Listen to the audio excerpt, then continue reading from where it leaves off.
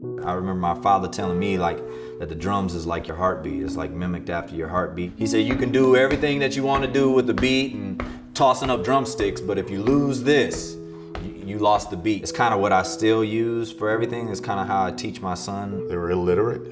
Uh, both my mother and my stepfather, neither one of them could read or write. Illiterate people don't have an understanding of, of certain things, so they bought me books that just had like pretty pictures on them, uh, complicated academic books, but I will read them. I don't give up on young people. I, I, still believe all the best ideas come from young people. You see somebody that's interested, you see a young person that's interested, just keep them focused. I grew up in a low income household in the segregated city of Chicago. The things that changed my life are the things that allowed me to express my own experiences. Children should be allowed opportunities to explore and develop their own ideas and engage with their environment and engage with the social universe. I think if I was five years old today, I would love to know that the world, I had access to the world. I grew up thinking my world was my block and my neighborhood. To not think of your world as your block, I think opens up your mind in a huge way. I would spend like hours alone entertaining myself.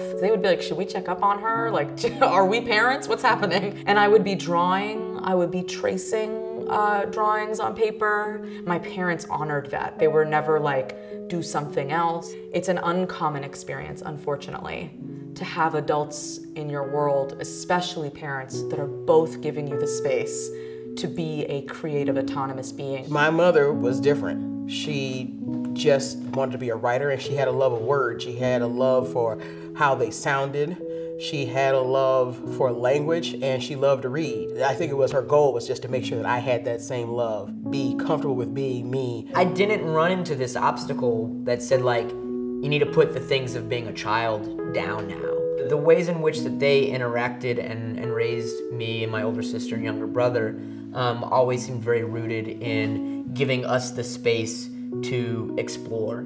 Everyone as a child has this tendency to explore and be curious and discover and draw and doodle and sing and write and storytell and all these things. And then at some point, it gets smaller and smaller. Spent her whole life as my mother reframing stories so that I knew I was the hero of it. And when I said, oh, I wanted to be a writer, you could tell that the teachers were like, oh, like I've somehow got to communicate to this girl. That's not a smart idea. It was a fear of uh, everyone who knew that was my dream uh, except for my mom. It was because she started instilling at me at a very young age that sort of control of destiny that words can give you.